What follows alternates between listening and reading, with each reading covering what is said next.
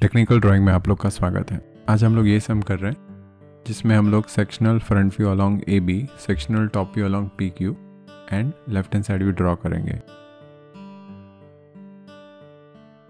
पहले orthographic views बना लेंगे।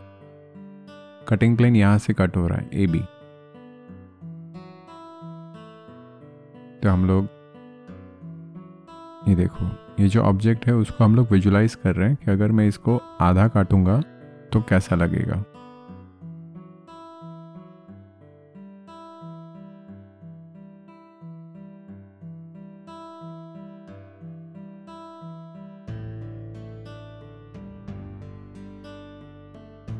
तो ये हो गया अपना सेक्शनल फ्रंट व्यू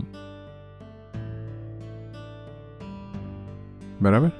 अब इसमें हैचिंग कहाँ पे आएगा? ये ये पार्ट पे आएगा। ये देखो। तो अगर आप जब सामने से देखेंगे तो ऐसा दिखेगा। लेकिन ये जो पोर्शन है रिब उसमें हैचिंग नहीं आएगा। क्यों? क्योंकि हम लोग ने रूल बनाया कि जब भी हम लोग रिब को पैरेलल काटेंगे, तब उसमें हैचिंग नहीं करेंगे। तो उस हिसाब से देखो। कटिंग प्लेन बनाएँगे टॉप व्यू में।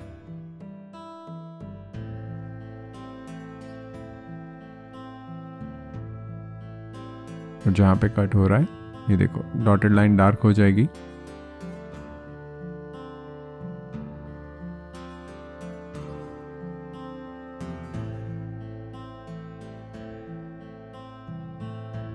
और अंदर हैचिंग आएगा।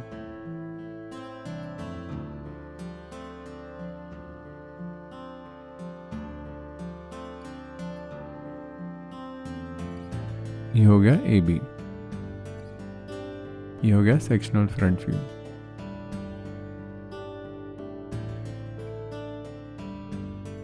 अभी पी क्यू दिया है। तो वो लाइन बनाएँगे। अभी देखो, इसमें थोड़ा डिफरेंस है।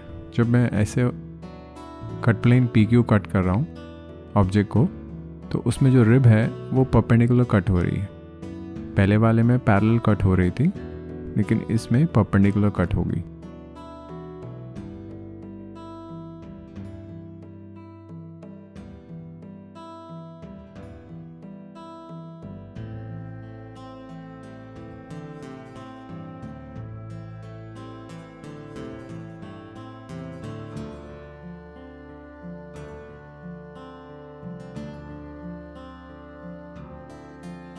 देखो, ऐसे आएगा। ये पूरा हैच होगा।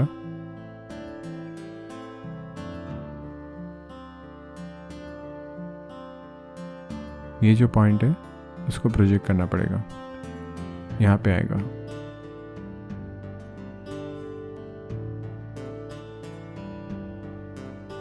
तो ये हैच हो जाएगा टॉप व्यू में। तो ये हो गया सेक्शनल टॉप व्यू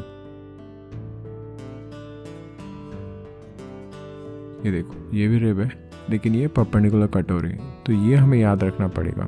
जब पैरेलल होगी, ये पॉइंट यहाँ से है, वो दिखा रहा हूँ मैं।